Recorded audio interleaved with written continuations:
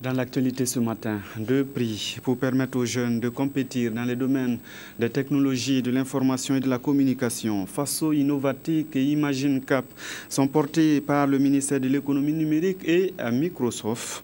Ils ont été lancés vendredi à Ouagadougou. Frédéric Etienne Bassenga.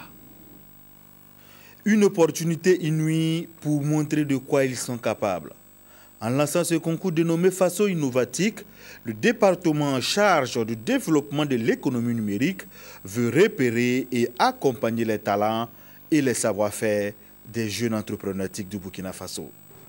Face à l'histoire et à leurs responsabilités, les plus hautes euh, autorités de ce pays, à travers les différents démembrements institutionnels ou ministériels, ont entrepris d'ouvrir de nouveaux chantiers dans le domaine de la valorisation des connaissances et des savoirs de la jeunesse en fin de formation et en quête d'emploi.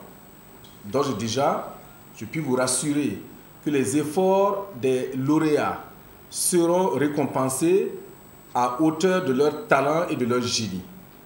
À titre indicatif, le premier prix de chaque catégorie pourrait atteindre la somme de 7 millions de francs CFA. Pour décrocher ces prix, les étudiants en technologie de l'information et de la communication devront se distinguer dans la création de projets dont les solutions ou produits sont susceptibles d'avoir un impact sur le développement des secteurs tels que la santé, l'éducation, l'agriculture, l'élevage et le commerce. Ce concours-là va permettre de, euh, de détecter des jeunes qui ont des idées innovantes et ces solutions-là sont des solutions qui seront adaptées à notre contexte. Voilà, c'est ça vraiment l'objectif donc de ce, de ce concours-là. Cette cérémonie a également servi au lancement du concours Imagine Cap de Microsoft, accompagné au Burkina Faso par Softnet.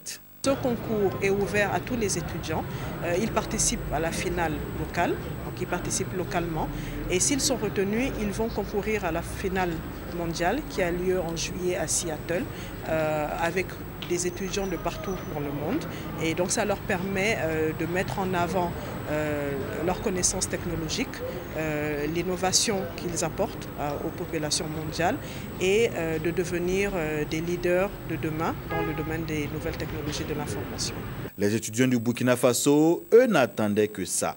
Et vraiment, c'est l'opportunité pour nous aussi de pouvoir nous mesurer, de pouvoir montrer nos capacités en tant que euh, techniciens, si nous pouvons le dire, euh, des, télécoms, euh, de montrer de quoi nous sommes vraiment capables. Les inscriptions de ces concours démarrent le 15 février prochain sur le site www.innovatique.bf et les résultats sont attendus pour le 15 avril prochain.